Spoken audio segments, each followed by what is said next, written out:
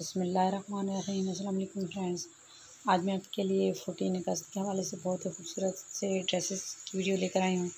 इसमें आपको बेबीज़ के लिए बहुत ही खूबसूरत से आइडियाज़ मिल जाएँगे। इन आइडियाज़ को आप फॉलो करते हुए अपनी बेबी के लिए बहुत ही खूबसूरत सा फोर्टीन अगस्त के लिए ड्रेस तैयार कर सकती हैं।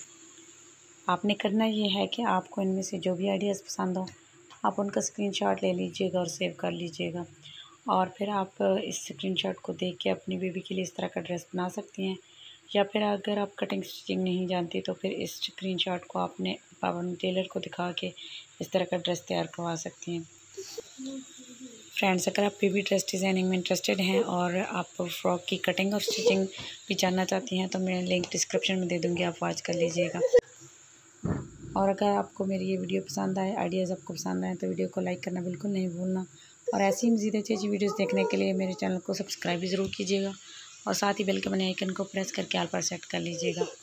इससे मेरे आने वाली हर नई वीडियो का नोटिफिकेशन आपको सबसे पहले मिलता रहेगा।